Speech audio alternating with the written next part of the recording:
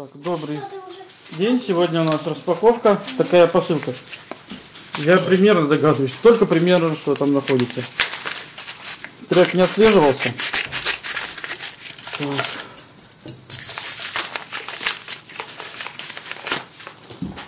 Нет, я даже...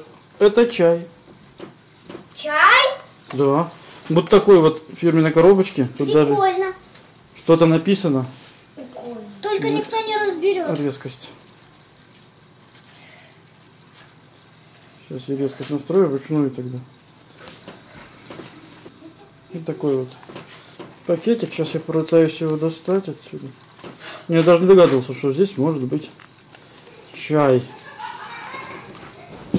Нашел, как распаковывается. Здесь все проклеено.